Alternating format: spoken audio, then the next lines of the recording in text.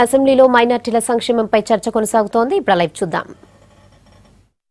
ये साफ कर रही है वो साफ कर रही है वहां मोदी साहब स्वच्छ भारत का ऐलान करे हम ऐलान करे बगैर तेलंगाना के ये जो नाइंसाफियां आंध्रा वाले कर रहे हैं उसको स्वच्छ करने में ही लगे हैं अभी वो होगा तो काम होगा लैंड देखो तमाशे में हाउसिंग देखो तमाशे में हर डिपार्टमेंट तमाशे में तो आज इन सबको सेटराइट किया जा रहा है और सेटराइट होने के बाद नतज आएँगे तो आज जिस तरीके से काम हो रहा है, होता रहेगा। मैं अब उर्दू जबान पे आते हुए स्पीकर साहब, चीफ मिनिस्टर साहब ने वादा किया था कि उर्दू के ताल्लुक से एक मीटिंग बुलाएँगे, बात करेंगे।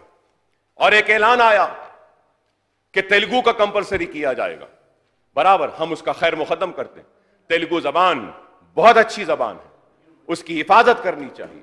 उसको आगे बढ़ाना चाहिए।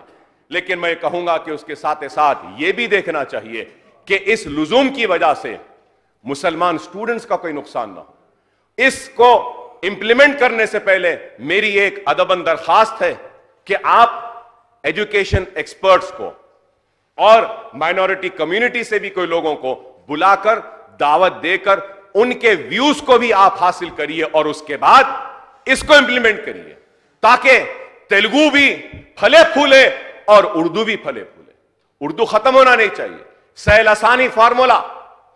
चीफ मिनिस्टर साहब जानते हैं, जिसमें लाजिम है कि अपनी मादरी जबान में तालीम हासिल करने का एक शख्स को हक है, इख्तियार है। लेकिन आज वह सह लसानी फार्मूला पे इंप्लीमेंट नहीं हो रहा है। उर्दू के साथ जो नाइंसाफियाँ हो रही हैं, इसके ताल्लुक से मैं चीफ मिनिस्टर साहब से दरखास्त करूँगा कि आप एक मीटिंग बुलाइए। मैं ये भी याद दिलाना चाहता हूँ कि चीफ मिनिस्टर साहब ने ऐवान में यह वादा किया था कि सेपरेट डीएससी करेंगे उर्दू के लिए। आज कई बरस हो गए हैं। उर्दू मदारस खस्ता हाल में है। उर्दू मदारस जुबू हाली में है। Please, तो मैं please conclude sir I need some some some time sir please sir sir I request I need some time sir sir chief minister साहब ने 17 मार्च को यह कहा था बजट सेशन में कि सेपरेट डीएससी करेंगे उर्दू के लिए। मैं दरखास्त करूँगा कि साहब, आप एक सेपरेट डीएससी करें। हो रहा यह है साहब कि एस सी एस के जो रोस्टर सिस्टम के हिसाब से जो जायदादें हैं, वो पुर नहीं हो रही हैं। उर्दू मदारस खत्म हो रही हैं। मैं ऑनरेबल स्पीकर साहब, आपके ज़रिए यह भी बताना चाहता हूँ कि चीफ मिनिस्टर साहब के साथ जब हमारी मीटिंग हुई, मेरी और असद साहब की तो हमने यह कहा कि साहब self financing junior and degree colleges रियासत में है। जो कोई पैसा भरकर स्टार्ट कर दिया एमपीसी बीपीसी या, लेकिन अब उनके पास पैसे नहीं है टीचर्स की तनख्वाह देने के लिए तो ऐसे 40 हैं तो चीफ मिनिस्टर साहब ने अहकाम दिया कि जितने ऐसे स्कूल्स हैं, उनको ये रेजिडेंशियल स्कूल माइनॉरिटी के जो है, उनके तरह जम कर दीजिए और सेल्फ फाइनेंसिंग कॉलेजेस की जितनी भी पैसे हैं, वो सारे के सारे पैसे माइनॉरिटी वेलफेयर डिपार्टमेंट से दिए जाएँ। इसके लिए मैं मुबारकबादी देता हूँ। ये शहर हैदराबाद का नहीं, ये अजला का भी है। कई मेरे एमएलए कोलीग्स बोलेंगे कि उनके कॉन्स्टेंसी में भी सेल्फ फाइनेंसिंग कॉलेज है और वो परेशान है। तो मैं कहूँगा कि ये गुड न्यूज़ है। ऐलान है कि चीफ मिनिस्टर साहब ने ऐलान किया हमारे को मीटिंग में कि उसको भी करेंगे। और ये भी कहूँगा कि उर्दू वालों के लिए बहुत बड़ा एक ऐलान चीफ मिनिस्टर साहब ने इस ऐवान में आज करने का वादा किया कि खम्मम डिस्ट्रिक्ट एक डिस्ट्रिक्ट है जहाँ पे उर्दू दूसरी सरकारी जबान नहीं है। तो सीएम साहब ने कहा कि मैं असेंबली में ऐलान करूँगा कि रियासत तेलंगाना में और सारी रियासत में उर्दू को दूसरी सरकारी जबान का मौखफ दिया जाता ये भी एक अपने आप में बहुत कामयाब है। मैं मोहतरम चीफ मिनिस्टर साहब से और हमारे डिप्टी चीफ मिनिस्टर साहब, कडियम श्रीहरि साहब से एक दरखास्त करूँगा कि महाराष्ट्र कर्नाटक में। सर, उर्दू के लिए एक separate commissioner and director of schools होता है, महाराष्ट्र में, कर्नाटक में। मैं आपसे रिक्वेस्ट करूँगा, उर्दू को कोई नहीं देख रहा है साहब। आज लोग बोलेंगे कि अकबर साहब उर्दू में कर रहे तकरीर हाँ, आंध्र प्रदेश जब था, उर्दू में अगर बोलता तो कोई समझते नहीं थे, लेकिन चीफ मिनिस्टर साहब ऐसे हैं जो उर्दू जानते भी हैं, बोलते भी हैं, इसलिए बोल रहा हूँ। तो मैं कहूँगा, सर, उर्दू खत्म हो रही है। आपसे मेरी रिक्वेस्ट है to appoint a commissioner and director of schools for Urdu education district and mandal level officer should also भी appointed for promotion of education of Urdu in entire Telangana state अगर ये एक काम हो गया ना साहब तो ये ऑफिसर्स उर्दू के टीचर्स का सारी कमियाँ और जो कमजोरियाँ उसको देख ले सकेंगे। सर मैं ये भी कहूँगा the candidates have qualified for the teacher eligibility test TET 2013 16 17 are eagerly waiting for DSC sir RTR notification for the last five years. Notification में जो एसजीटी के, उर्दू के पोस्ट भी नहीं आए हैं साहब, और कई पोस्ट हैं तो मैं चीफ मिनिस्टर साहब से दरखास्त करूँगा कि एजुकेशन मिनिस्टर साहब deputy chief minister Kadiyam Srihari साहब को बोलिए कि उर्दू मदारस के ताल्लुक से एक मीटिंग अगर बुला लेंगे तो बहुत सी तफसीलात हैं और फिर वो उर्दू टीचर्स एसोसिएशन के भी एक दो लोग को मैं अपने साथ में ले आता हूँ, ताकि उनसे बैठकर उर्दू स्कूल्स की जो जरूरतें हैं, जो चीज़ें करनी चाहिए, वो लोग बोलेंगे। तो उनको भी तसल्ली होगी कि उर्दू के ताल्लुक से भी ये किया गया है। अब मैं ये उर्दू घर और शादी खानास पर भी आऊँगा तो मैं चीफ मिनिस्टर साहब से कहूँगा कि शादी खानों की स्कीम ये बहुत अच्छी है। मंजलसी लाई थी गड़बड़ कर कर, लेकिन हो रहा यह है कि कम पैसा देते हैं। आज एक दरवाज़ा लगता है तो नेक्स्ट ईयर एक विंडो लगती है। तो आप आइडेंटिफाई करिए कि ये साल, ये बजट में ये चार शादी खानास को कंप्लीट कर कंप्लीट करेंगे। नेक्स्ट नेक्स्ट बजट में चार को करेंगे तो इस तरीके से कंप्लीट होंगे। और यह भी मैं कहूँगा कि कई शादी खाने ऐसे हैं जो बदमाशी का अड्डा बन चुके हैं। उसको बंद करना चाहिए साहब। सारे नहीं सारे नहीं। बहुत अच्छे हैं शादी खान। बाज ऐसे हैं जो बहुत दूर हैं, बना के रख दिए। शराब नोशी हो रही, जुआ हो रहा है। वैसे अगर हैं तो वो शादी खानों को कन्वर्ट कर दें स्कूल में, ताकि वहाँ बच्चे पढ़ सकें। अगर यूज़ में है तो चलने दीजिए, हमको कोई वो नहीं है। क्रिश्चियन फाइनेंस कॉरपोरेशन के ताल्लुक से भी कहूँगा कि क्रिश्चियन कम्युनिटीज की भी मीटिंग होती रहती है, और वो लोग भी हमसे मुतालबा करते हैं। दावत इफ्तार में भी, और कई चीज़ें दिए गए हैं लोगों को। दावत इफ्तार में जो कपड़े दिए गए हैं और हर साल इसमें जो इजाफा हो रहा है, इसके लिए भी मैं हुकूमत का शुक्रिया अदा करता हूँ और आखिर में एक अहम सब्जेक्ट पर आता हूँ और वह अहम सब्जेक्ट है Telangana Waqf board. Sir Telangana Waqf board के ताल्लुक से मैं चीफ मिनिस्टर साहब को सबसे पहले तो यह बोलूँगा कि वक्फ बोर्ड के ताल्लुक से आपने कल रात जो इकदाम किया है, वो बहुत अच्छा इकदाम है। तहकीकात होनी चाहिए, मालूम होना चाहिए। हाउस कमेटी में बैठकर मैंने रिपोर्ट तलब की तो रिपोर्ट में आया कि एक ड्राइवर की तनख्वाह सात हज़ार है, सुपरिटेंडेंट की तनख्वाह अस्सी हज़ार है, और एक चपरासी की तनख्वाह झाड़ू देने वाले की चालीस हज़ार है। एक जो सिर्फ़ इनवर्ड एंड आउटवर्ड में टप्पा लेता है, उसकी तनख्वाह अस्सी हज़ार है। ऐसा आलम है। अगर मालूम हो जाए सबको तो सब बोलेंगे, कहीं नौकरी नहीं होना, वकबोर्ड में नौकरी दे दो, वहाँ पे झाड़ू देने वाले को भी अस्सी हज़ार मिल रहे और एक घर के चार चार लोग पाँच पाँच लोग दस दस लोग, ये सर मैं आपसे कहूँगा कि आपने बहुत अच्छा काम किया। ज़रूरी था, लेकिन उसके साथ यह कहूँगा कि वक्फ बोर्ड जो नया तश्कील हुआ है यह इसमें डेढ़ महीने से शायद मेंबर्स हैं। आप कार्रवाई करिए, तहकीकात करिए खातियों को सजा दीजिए, बरतरफ करिए, उनको जेल में पहुंचाइए जो लोगों ने वक्फ बोर्ड को लूट कर खाया है। लेकिन उसके साथ साथ ये बोर्ड के जो अराकीन है चेयरमैन है, ये लोग तो अभी आए हैं, इनके साथ आप एक मीटिंग कर कर उनको कॉन्फिडेंस मिलेगी। मलिक मोतशम साहब हैं। उसमें असदुद्दीन ओवैसी साहब हैं, उसमें आपके पार्टी के एमएलसी चेयरमैन भी हैं। ये लोग ऐसा महसूस ना करें कि अरे क्या हो रहा है। लेकिन इसके साथ साथ काम हो जाए तो हमको किसी की मदद की ज़रूरत नहीं है। हम खुद अपने पैरों पे खड़े होकर अपने ज़िंदगी के अंधेरों को नए उजालों में तब्दील कर सकते लेकिन ऐसा नहीं हुआ। आदिलाबाद में number of institute 4098 total area and acreage. CM साहब, आप सुन के हैरत करेंगे टोटल एरिया आदिलाबाद में पुराने आदिलाबाद में 10,119 एकर्स 10,119 एकर्स और इंक्रोचमेंट इंक्रोचमेंट 9,189 9000 इंक्रोच हो गया। और जो है 930 Karimnagar. Total institutes 2685 total extend of land and acreage 1846 1846 इसमें इंक्रोचमेंट जो हुआ 60 एकर्स पर। ये एक ही है, मैं कहूँगा करीमनगर, जहाँ पे जरा कम इंक्रोचमेंट है। लेकिन करीमनगर में क्या है? कि जिन लोगों को लीज पे दे दिए लीज एक्सपायर हुई, किराया नहीं दे रहे, लेकिन आज भी वो बैठे हुए हैं। उनको किराया देना चाहिए साहब अब हम आते वरंगल।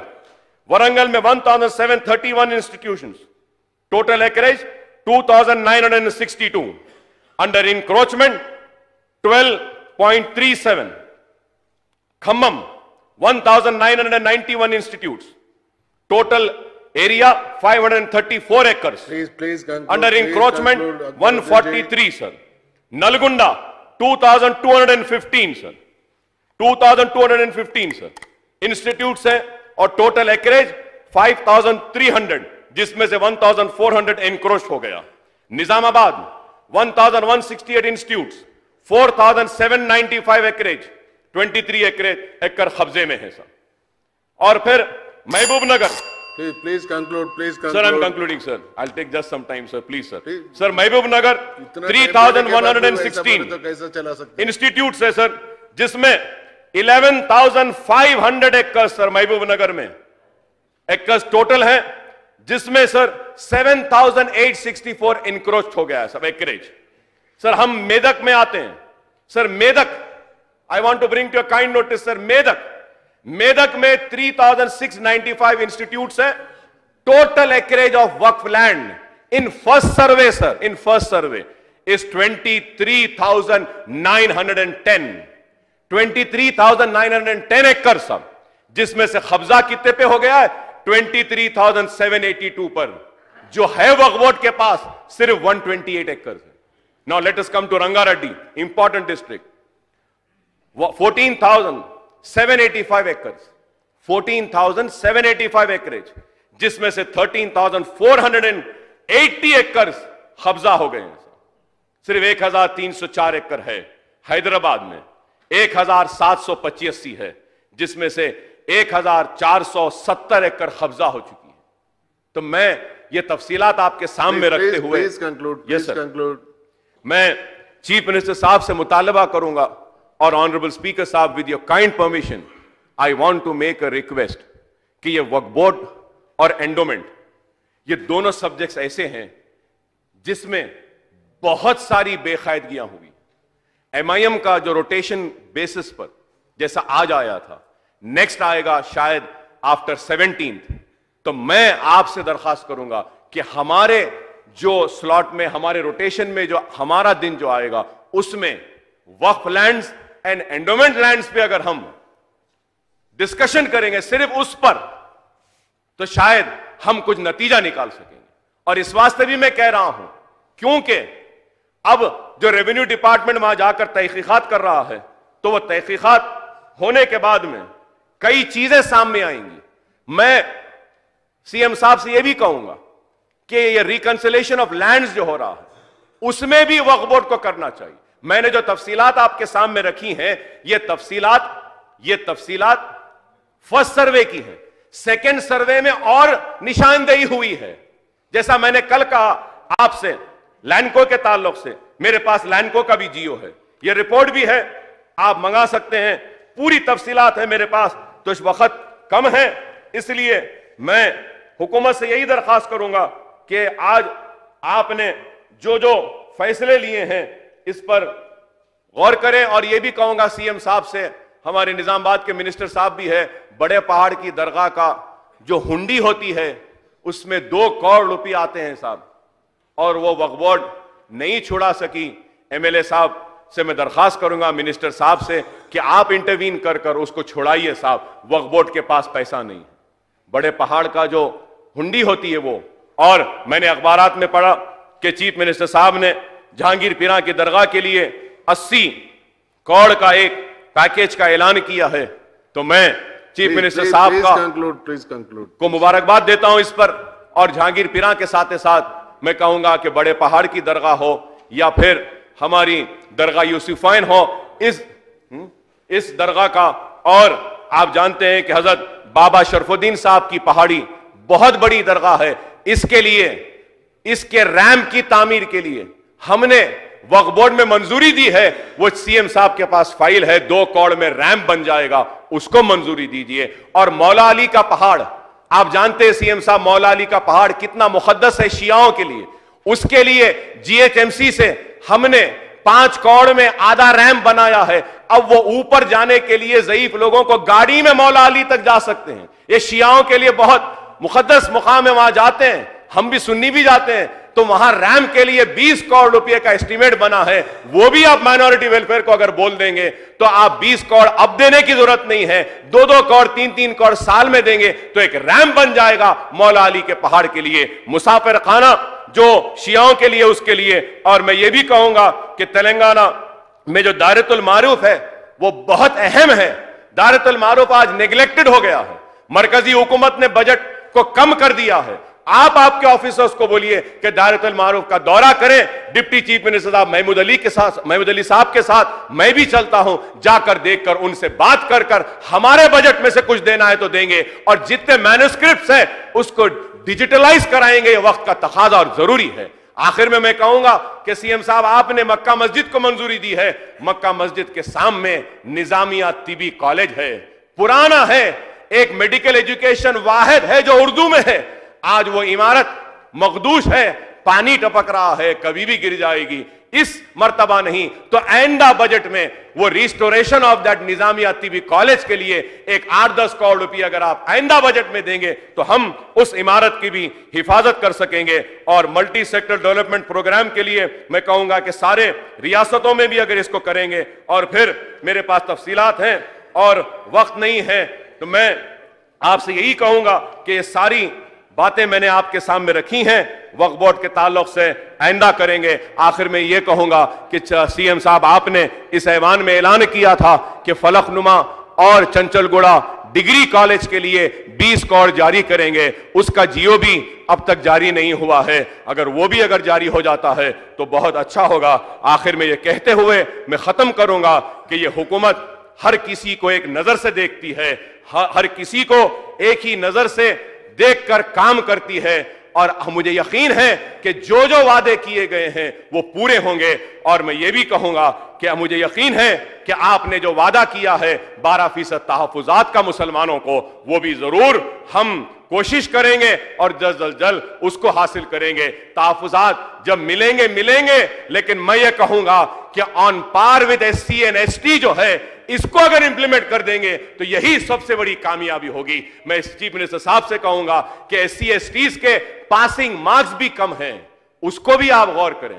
क्या माइनॉरिटीज को भी वही लाइन पे ला सकते हैं? मैं हुकूमत सीएम साहब का आखिर में, मैं शुक्रिया अदा करूँगा कि सारे हिंदुस्तान में वाहिद रियासत है, तेलंगाना रियासत और ये चीफ मिनिस्टर जिन्होंने मरकजी हुकूमत को लेटर लिखा हमारे मुतालबे पर कि निट के एग्ज़ाम को उर्दू में भी कंडक्ट करना चाहिए। ये हो गया है और ये कामयाबी हमारी रियासत की है। मैं सीएम साहब से कहूँगा कि आपने वादा किया था इस ऐवान में कि सरकारी मुलाजमत के जितने भी तकर्रात होंगे, उनके इम्तिहान उर्दू में भी मुनद करेंगे। मैं आपसे दरखास्त करूँगा कि इसका भी जियो अगर निकाल लें कि जितने भी, क्योंकि जब तक जबान को रोज़गार से मरबूत नहीं करेंगे तो जबान ज़िंदा नहीं रहेगी। तो आज हमको उर्दू को रोजी और रोटी से जोड़ना होगा तो उर्दू कायम रहेगी। सरकारी तकर्रात किसी भी महकुमे में होने सेहत में या कहीं पर, उर्दू में भी अगर होंगे तो इससे फ़ायदा होगा। इसका भी ऐलान करिए, चाहे पुलिस के तखरत हो सेहत के हो,